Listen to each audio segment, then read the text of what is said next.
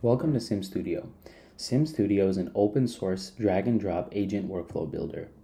On the left here, you can see that these are our main abstractions that we'll use to map any workflow. In, in tools, we have our pre-built integrations, so you can enable your agents to interface with your data and take action on your behalf. Let's go ahead and get started.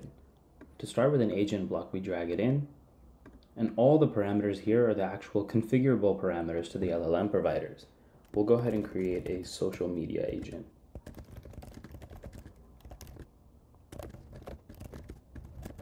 And for the user prompt, we'll put Hacker News. In the model selector, you have the ability to select models from popular providers or self-host and run local models with Ollama. We'll stick with 4o for now. In here, you have the ability to select any built-in tools or use any custom tools. For any custom business logic you may have, you can just define the JSON schema or port it over from your project or and provide the code so you can execute it. We'll choose the X tool for now and we can go ahead and pick our credentials. To run the workflow, we just press the run button.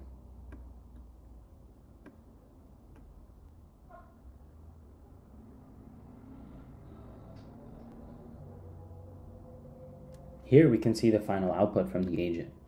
This is the final output, the token utilization, the tool calls, we'll go ahead and confirm that it made the call to X search, the timing, as well as the cost. If we want more granular information about what happened, we can go ahead and look at the logs. So for this execution, for the block level log, we can see that's just the final response. This is the tool call.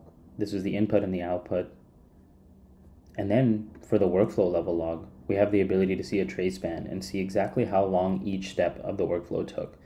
Here we can see that OpenAI took quite long in the response after the tool call was made, as well as the final model cost. Heading back to the workflow, we can look at some of the other main blocks. So for the API block, you can provide any parameters and make a request to any API. The conditional block allows me to do deterministic routing with if-else statements. The function block allows me to execute TypeScript or JavaScript code in a secure sandboxed environment, and the router block allows me to do LLM based routing, which is particularly useful in the workflow automation space. We have a couple different options for how to trigger our workflow. This was a manual example, but we can also have our workflows configured to run on a webhook call. Um, you can use any of our pre-built Slack message or Airtable insertion webhooks or a generic webhook, so it triggers every time you ping the workflow. You also have the ability to schedule workflows so you can have them run at a fixed cadence. For now, we'll stick with manual. Another way to talk to your workflow is if you drop the starter input here, and then we put OpenAI. OpenAI will be passed in as the user prompt here, and the workflow will be executed live. Here's the output from that workflow run. Another really powerful aspect of SimStudio is the ability to deploy the workflow as an API. So with just one click of a button, you can use our issued API key and deploy the workflow as an API. Here's the curl command you can use to run the workflow. Also, you can deploy the workflow as a chat.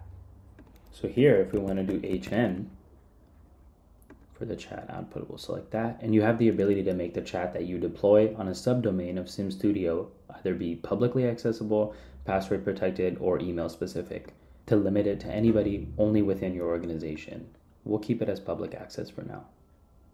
If we deploy, we can see that now we are able to access this link and we can just say, tell me about hacker news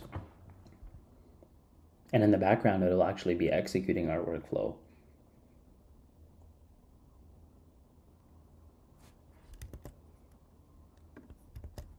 Although this is a simple example, you can create multi-agent workflows. You also have the ability to have loops between agents. You can have a for loop or a for each. You can define the number of iterations, and you can map all the complexity of your backend workflows using SimStudio. We're excited to see what everybody builds. Thank you.